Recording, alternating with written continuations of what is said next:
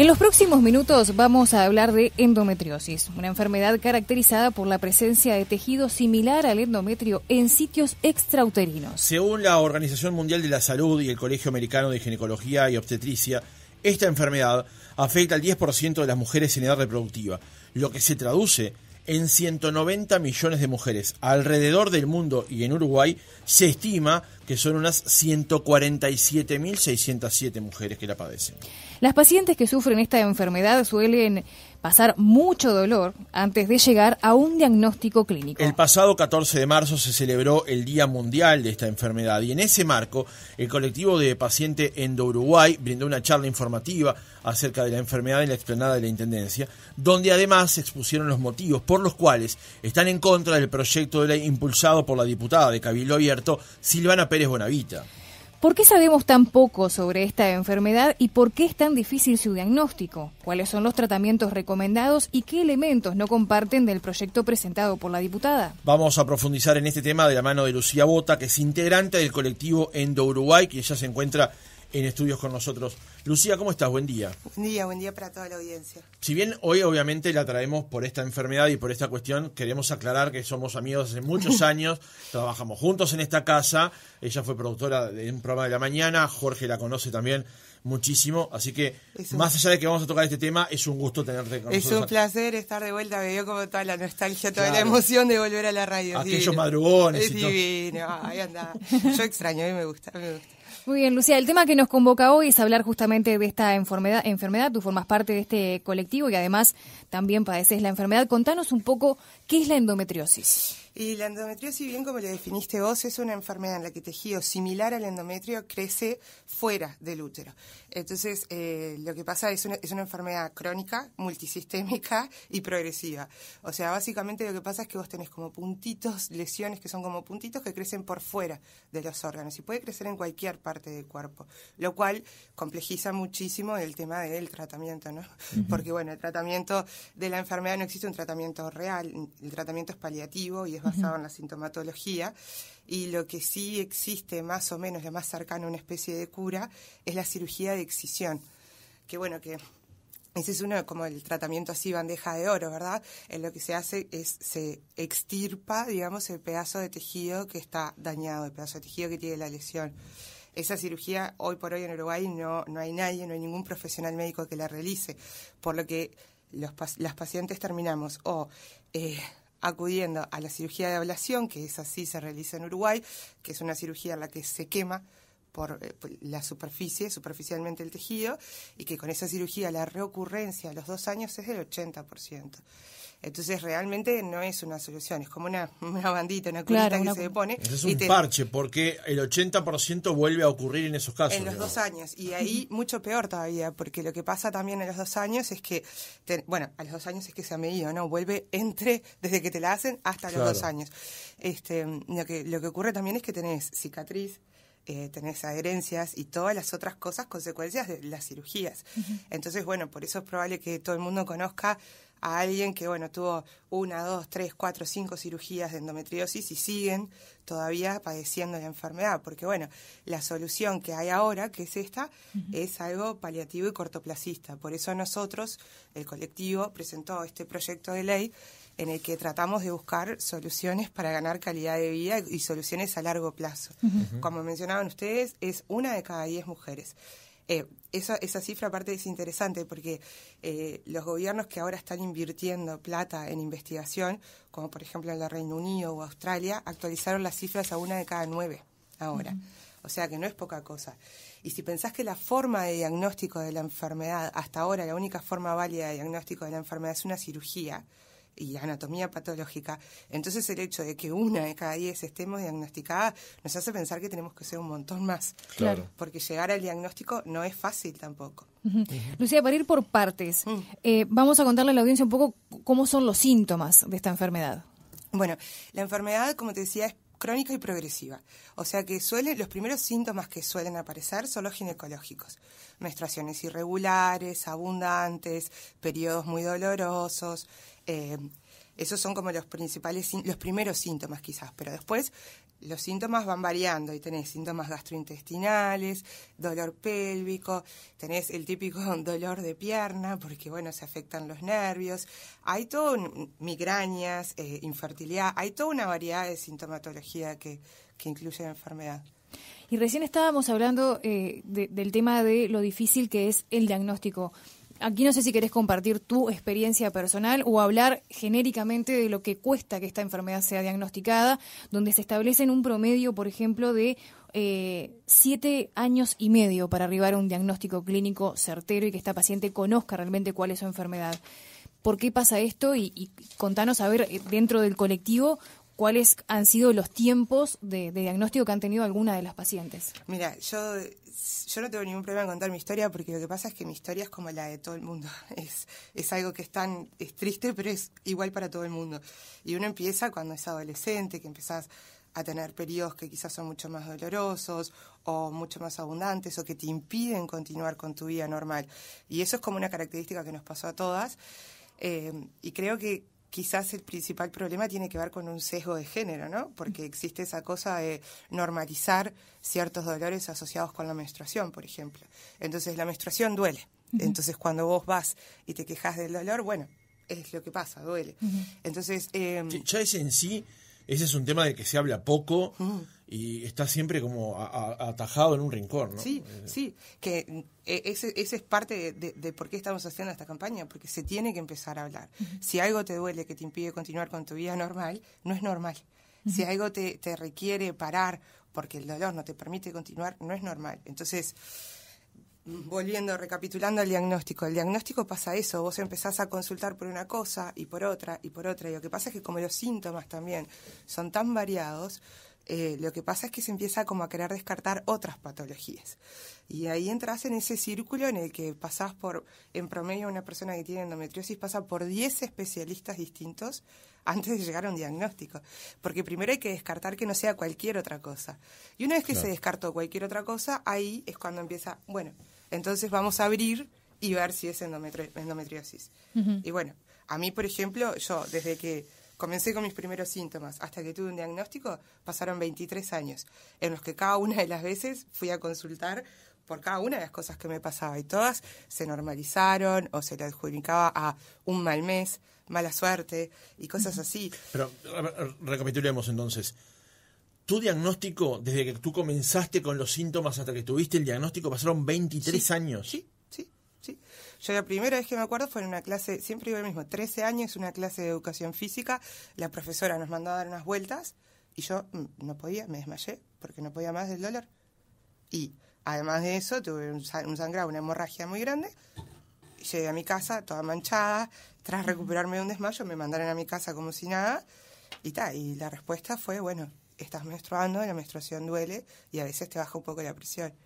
Y esa fue mi primera vez, con 13 años. Pero, pero, o sea, que ahora, claro, mirando en retrospectiva, vos decís, no, claro, de ninguna manera eso era normal. ¿Cómo va a ser normal que una niña no pueda continuar con sus actividades curriculares por el dolor? O sea, pero claro, sí, se normaliza. Y a mí lo que me pasó fue que como es progresiva, llegó un momento que mis síntomas se iban agravando, agravando y cada vez siendo más notorios y controlando más mi vida, porque ese es el tema, vas perdiendo calidad de vida y el dolor... Sí, queda supeditado, queda supeditado a esto. Exacto, y entonces, bueno, ahí fue que me puse firme, firme, firme, y desde que me puse firme hasta que tuve un diagnóstico, estuve tres años en los que pasaba todas las semanas, una o dos veces por semana, en una oficina de un médico, distinto, ¿no? Hasta que llegué a uno que dijo, ah, a ver, ¿qué onda? Y bueno, y ahí tuve mi respuesta, pero...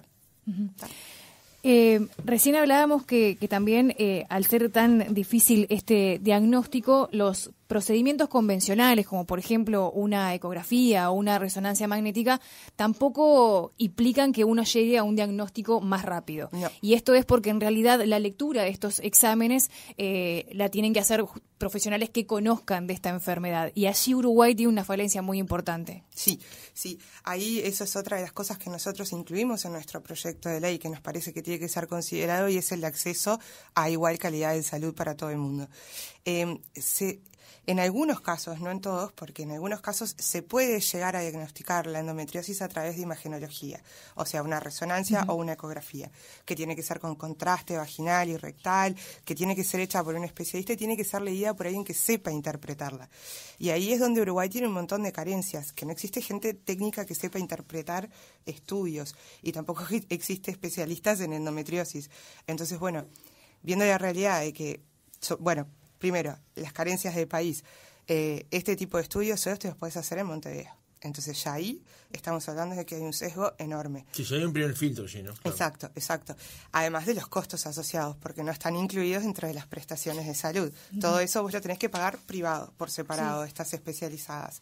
Este, y además eh, existe un puñado de técnicos que saben leer estas imágenes buscando endometriosis.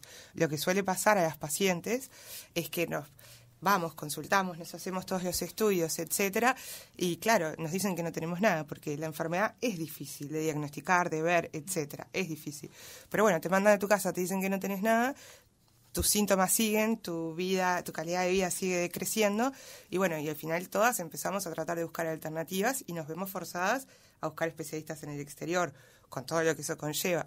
Pero un factor común que sucede es que cuando le llevamos las imágenes de los estudios que tenemos, los especialistas en el exterior sí logran identificar cosas. Entonces pasa más bien por una cuestión de entrenamiento y eso es lo que nosotros queremos que el Ministerio garantice, personal calificado para leer los estudios, para realizar los estudios y una vez confirmados para, bueno, garantizarnos, aunque sea algo similar a una cura que es la cirugía de excisión. Cuando hablas del exterior, eh, por ejemplo, en los países de la región, ¿hay mejores accesos a, lecturas o a tratamientos? Por ejemplo, en Brasil, Argentina, Chile, Paraguay. Sí, Brasil hay. Brasil está como. Brasil es como el país pionero, si se quiere. México está sumamente avanzado en ese sentido y México, de hecho, está trabajando en cambiar la legislación en torno a la endometriosis. Y Argentina está empezando a tener algunos especialistas, pero este, muy de a poquito. Pero sí, Brasil y México son los países de la región que son como así, este, estándar eh, de calidad en el tratamiento de la enfermedad. Después sigue Rumania, increíblemente. Rumania es otro lugar en el que eh, hay especial atención y Estados Unidos. Y bueno, y ahora que, como comentaba, el gobierno de Reino Unido y el gobierno australiano empezaron a destinaron un fondo de inversión para investigación grandísimo porque empezaron a asociar a medir los costos asociados de opioides y endometriosis. Porque claro, el dolor es tan fuerte que las pacientes necesitan medicación fuerte. Entonces ahora, como de alguna forma lograron conectar los costos que implica tratar de calmar el dolor, se está investigando para tratar de evitar el dolor, ¿no? Lo cual es bueno. Pero bueno, falta tiempo para eso, ¿no? Bien, yendo un poco a lo que es el tema del proyecto de ley, el proyecto tiene 11 artículos. Uno está directamente vinculado a lo que hablábamos recién, en el artículo 6, el numeral B dice instrumentar cursos formativos para el personal sanitario orientado a prevenir prácticas de violencia ginecológica o de género, discriminación por orientación sexual, identidad, etnia o condición social. Eh, esto sería fundamental lo de los cursos formativos, ya que recién también nos contaba fuera de micrófono eh, las largas cantidades de horas que muchas veces pasa una paciente eh, cuando llega a una puerta de emergencia para que se le suministre eh, un analgésico. Claro, porque esa es la otra. es muy difícil medir el dolor ajeno, ¿no? pero siempre pasa lo mismo. Las pacientes con endometriosis, el 70% tenemos dolor crónico. O sea, es una cifra altísima. Entonces, de por sí, estamos todo el tiempo con dolor. Cualquier cosa que nos digan, tenemos dolor. Y existe toda esa violencia médica de creer que el dolor es todo psicológico, si se quiere, porque yo no sé cuántas veces recibí el comentario de, eh, bueno, estás con estrés o, eh, no sé, eh, qué está pasando en tu vida y etcétera. Y entonces, que se tome en serio el dolor de una paciente con endometriosis es otra de las grandes barreras que encontramos. Yo he ido a la emergencia, he estado seis horas y me he vuelto a mi casa sin atención médica porque... ¿Seis horas? Sí, sí. Porque, porque me he vuelto a mi casa sin atención médica porque, o sea, no tenía sentido seguir esperando ahí, me sentía mejor en mi cama y yo puedo manejar mis dolores, pero cuando, lo que decía, cuando una paciente con endometriosis va a la emergencia a pedir ayuda, es porque ya agotó los recursos que tiene en la casa. Entonces, hay veces que, o por lo menos a mí me pasa, cada vez que iba a la emergencia me dan ibuprofeno. Y está bien, ibuprofeno, bárbaro, capaz que para una persona que no tiene dolor crónico puede servir, pero para nosotros es como, es como, es como parte de las violencias con las que tenemos que estar lidiando todo el tiempo. Y entonces tenéis que lidiar con un médico que te dice, no, pero probemos pasarte esto primero y después vemos. Como si eso no fuera otra violación a tu cuerpo, otra agresión a tu cuerpo, etcétera, etcétera. A tu cuerpo que ya está, ¿no? Claro. Eh, el artículo cuarto del proyecto plantea establecer la obligatoriedad del acceso integral a las debidas prácticas de detección y de tratamiento de la enfermedad en todos los prestadores de salud, tanto públicos como privados, eh, en todo el territorio nacional, pero agrega que deben contemplarse los traslados que sean necesarios. O sea, esto tratando de romper la barrera que hay entre Montevideo y alguien que padece la misma enfermedad, de las mismas condiciones, pero en Artigas. Exacto, porque vos imagínate, ponele yo, voy ahora al médico y me dice, bueno, vamos a hacer una radiografía, está bárbaro. Eh, 5.800 pesos de acá, 2.400 pesos de allá, yo tengo que pagar un boleto de ómnibus, voy, si tengo esa plata, lo hago. Una persona de Artigas tiene que tomarse el día en el trabajo, conseguir pasaje, tomarse la molestia de venir hasta acá, pagar todo eso y además, o sea, ya solo de costo le estás agregando el doble, supongamos, ¿verdad? Entonces es necesario que todos podamos tener acceso al mismo tratamiento, a la misma calidad. Es una enfermedad muy difícil, está catalogada entre las, de la lista de las 20 enfermedades más dolorosas del mundo, la endometriosis está en el puesto 7. Entonces, tenemos que tratar de hacerse lo más fácil a las personas que tienen esta patología. Para una persona que tiene endometriosis y que tiene dolor, viajar siete horas en un ómnibus para venir a hacerse un estudio, de repente eso desencadena una crisis de dolor muchísimo más grande. Entonces tenemos que tener en cuenta esas cosas. Y eso es lo que nosotros pedimos al sistema político. Eh, los artículos quizás eh, 9 y 10, para ir avanzando un poco más en lo que es este proyecto de ley, apuntan directamente a eh, deberes que debería tener el Banco de Previsión Social con respecto a esta enfermedad. Y allí se plantea un desafío muy importante porque, como tú lo decías, es una enfermedad crónica que muchas veces lleva a la imposibilidad de la persona a que realice un trabajo. ¿Cuáles son los pedidos concretos que ustedes plantean en este proyecto de ley al Banco de Previsión Social? La posibilidad de, la creación de juntas médicas, de que se evalúe eh, en, una base de cada persona. Hay personas que tienen 30 años y no están en condiciones de seguir trabajando. Y eso no, no, tenemos elección, ese es el tema. Entonces, es necesario que puedan existir garantías sociales para una persona que está en esa situación tan, vulnerable. Es necesario que, hay uno de los grandes mitos, es que con la menopausia se pasa. Y no, con la menopausia lo que pasa es que no menstruas más. Pero no se pasa. Tenés exactamente los mismos síntomas, solo que no vas a tener hemorragias espantosas, pero el resto es igual. Entonces, al ser progresiva, de repente lo que pasa es que llegada a la mediana edad, la persona y las consecuencias y los dolores tampoco le permiten trabajar. La neblina mental es otro de los síntomas y ese afecta creo que como al 50% de las personas.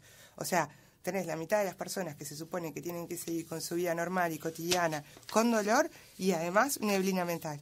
Entonces hay personas que realmente se les dificulta para trabajar. Entonces lo que nosotros pedimos es, bueno, para las que se dificultan y pueden, bueno, que se adapte la situación, que haya acceso a un baño, a, no sé, asientos cómodos, escritorio adecuado, lo que sea, que el espacio esté adecuado para la persona. Si la persona, esta enfermedad, no tenés, no tenés forma de predecir nada. Un día te levantás y estás bárbara y un día te levantás y estás espantoso. Entonces, que haya lugar para acomodar a esa persona en los días que no puede cumplir con sus obligaciones. Y si llegara el caso de que no puede cumplir con sus obligaciones permanentemente, entonces, bueno, que se pueda revisar a través de una junta médica y otorgarle el descanso que necesita esa persona. Bien, Lucía, la verdad es que eh, hay muchísimo para profundizar sobre todo lo que tiene que ver con el proyecto de ley elaborado por ustedes y también con discrepancias que tienen con el proyecto de ley que está que ya fue presentado por una diputada de Cabildo Abierto, lo decíamos en la introducción del reportaje. Allí eh, hay mucho todavía para profundizar.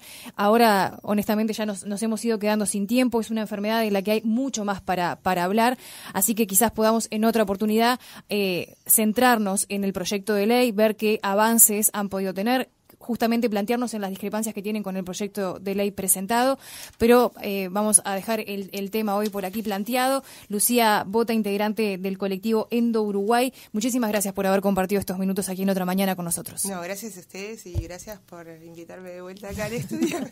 es como tu casa.